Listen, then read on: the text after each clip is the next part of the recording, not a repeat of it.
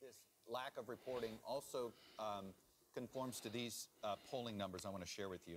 Uh, and this comes uh, on the issue of, of, of Asian American hate. Um, 10% over the last year have experienced hate crimes or incidents so far. 31% of Asian Americans worry about being hate crime victims. 30% um, would be very comfortable reporting the hate crime. And it's that last one I want to talk to you about. Because of that, of the other groups measured, Asian Americans were the least comfortable reporting hate crimes. That, there, that, that, is, that was the biggest takeaway, that there was a lot of, of, of nervousness in the community for reporting a hate crime. How do you change that? We need to send the message out to all our Asian American community that it's important for them to report these hate crimes, that it is safe, that it is confidential, and that in fact they can get resources from the entities like the Stop AAPI Hate website, uh, which has taken it under his its wing. And in fact, there are 3,800 hate crimes and incidents that have been reported since the coronavirus first started. So that is just the tip of the iceberg.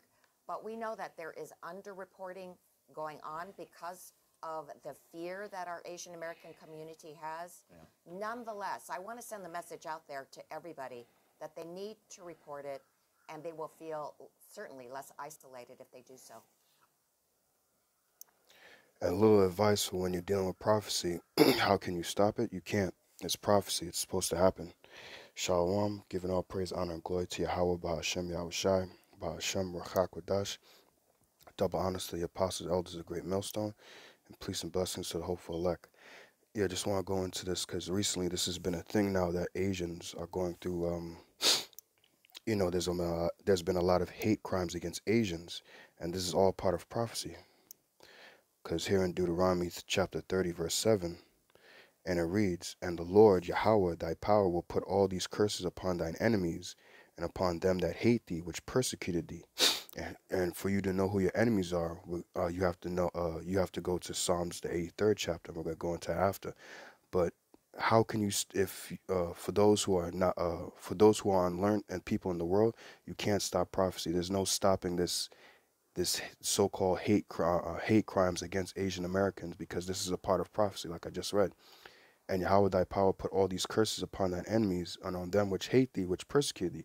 Because when we uh, you know, in the beginning of our slavery, when we, when we came here, so-called African Americans, that's what they call us, but we go back to children, we are the children of Israel. We got persecuted. Everybody hated us. Nobody wanted to help us. Nobody looked down and said, "Hey, chill out. Stop hurting these people. Stop killing these people." When when we were getting kicked in the street, when we were getting killed, you know, there's a there's a bunch of names you could mention. Uh, just one that comes to mind, Emmett Till. When our people were getting messed up, uh, were getting messed up, nobody came to uh, to help us but now we have to come and help you Asians out. No, you Asians also are enemy. And the thing about it is that yes, we do focus on Esau Edom because he is the top dog, but you other so-called nations, so-called Africans, so-called Chinese, and so-called Japanese, you also are enemies. And let's let's go into um, Psalms 83rd chapter. I'm gonna start from the top. This is Psalms 83 and 1. Uh, keep not keep not thou silence, O power, Hold not thy peace, and be not still, O Most High. For lo, thine enemies make a tumult, and they that hate thee have lifted up the head. They have taken crafty counsel against thy people, and consulted against thy hidden ones. They have, son, they have said, Come and let us cut them off from being a nation, that the name of Israel may no more be in remembrance. So that's why today you don't have so-called blacks, Latinos, and Native Americans don't know that they're they, they are actually the children of Israel, because these other nations like it says, have made crafty counsel to come against us and taken away the name of Israel. That's why you have those so-called Jews living in our land right now that are saying that they're the real Jews, but they're not. They don't even call themselves Israelites. They call themselves Israelis, which when you read the scriptures, there's no such thing as an Israeli. It's called Israelite.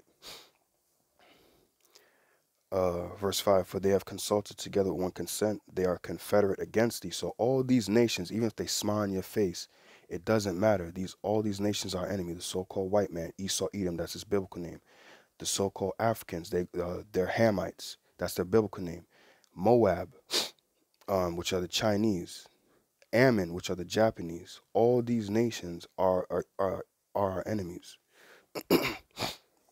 Verse six, the tabernacles of Edom, and it starts with Edom first. That's the main enemy out of everybody. The tabernacles of Edom, the Ishmaelites of Moab, so Moab, the Moabites are the so-called Chinese today. That's what they're called today. The Hagarenes, which are a Hamitic tribe, Gebal and Ammon. Ammon is uh, is so-called Japanese, and Amalek. Can't forget about Amalek neither. Amalek will be the people who call themselves Jews today, but they really come from Amalek, which is one of the sons of Esau.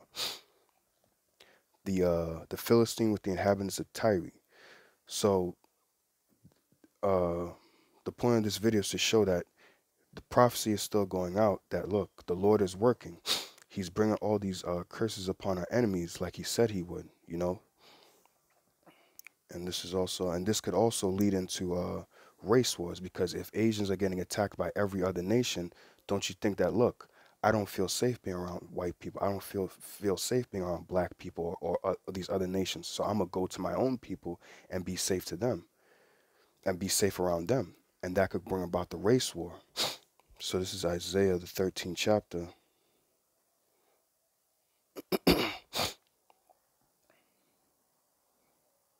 And uh, the 14th verse, and it says, And it shall be as the chased roe, and as a sheep that no man taketh up. Uh, they they shall every man turn to his own people and flee everyone to his own uh, land. Right. So everybody, this is a prophecy for the uh, the uh, the um the come uh the hell that's coming upon the earth that the Most High Yahweh Shemashah is going to bring upon the earth. And it says everyone will turn to his own people. So if you're going to turn and be around your own people, and if everybody else is hating you, these people are going to stay to themselves, and they're going to look at everybody else as an enemy. So that's gonna that could probably I'm just saying probably bring about the race war because right now the the world is in this like kind of peace and safety thing because things are kind of opening back up. You hear movie theaters are opening up, things are seeming fine. You know, summertime's coming up. You know, people want to go out. You know, for women, hot girl summer and all that BS. So you know, things is looking peace and safety right now, but prophecy is still going on. Excuse me, slack it. And right now, Asians are getting hate because they're feeling they're feeling what it's like to be a so-called black man because we always have to deal with that. We always have to deal with persecution. Our necks literally being stepped on. Uh, case in point, what's his name? Uh, George Floyd. So now you're gonna feel what we feel because these curses are coming upon you now, not just Esau, Edom, but Ammon, Moab, Ham, all you other nations. You're also gonna feel the heat.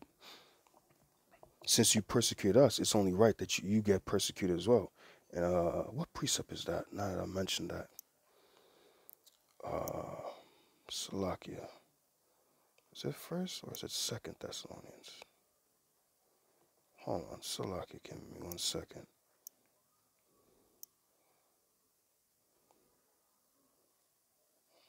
Hmm.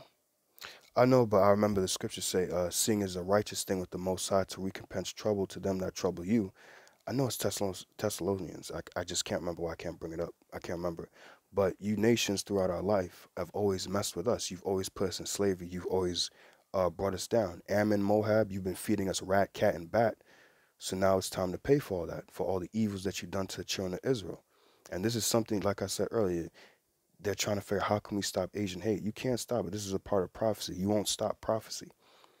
There's nothing you can do. You just got to deal with it now. You gotta you gotta drink of that cup. We have to drink of our cup. Now it's time for you to drink of yours. And this Asian hate could probably lead to race wars, or at least you know lead up to what I believe. I don't know. We'll see. But um, could definitely lead up to you know Asians secluding themselves and staying amongst their own people and not wanting to you know be around other uh, other nations. And like I was saying earlier, you know, with everything uh prophecy is still going on even though things seem to people who don't know um things seem all quiet and things going things seem to be opening up and things seem to go back to being good thing prophecy is still moving and like the scriptures say that sudden destruction is going to hit and lord's willing something happens you know you have stuff going on in the, uh, in the gulf of suez and numerous other things. You know, the earthquakes all around the earth, and now Asians are getting hate, which they've always been getting hate. And and you so-called Asians, you can thank the so-called white man because Donald Trump was saying how the C19 came from y'all. So you can thank the so-called white man for all the hate that you got now, but really, that's the Most High working up with the uh, with the, with the uh, with His council of angels in the heavens about how prophecy is going to get fulfilled. Because uh, certain examples of that with uh with um First Kings, I think it is. If it's not First Kings, it might be Second Kings. Where uh when the Heavenly Father had the council of angels on the left hand side, the demons, and he was like, who was going to uh, persuade uh, Ahab to go up to Ramoth Gilead so he can die? And one said on this man, the other said on th- that manner. And then one uh, spirit, which is a demon, came and said, I will persuade him, and I will be a lying mouth in all his prophets. So the council of how prophecy goes down, it starts up in the heavens. The council is in the heavens, and then it manifests here on the earth. So right now, really, the Heavenly Father is the really one, the one that's jacking you uh, so-called Chinese and uh, Japanese people up. But pray that this video is edifying just to let you know that prophecy is still going. The Lord is still working. Like it says in uh Psalms 20 uh, uh Psalms 121, the Lord doesn't sleep. He that keepeth Israel will neither sleep nor slumber. Heavenly Father don't sleep. He's not like man. He's always up, he's always working, and he's working on the behalf of the elect. And Lord's when we be a part of that number. And his son Yahweh Shah is very soon to come.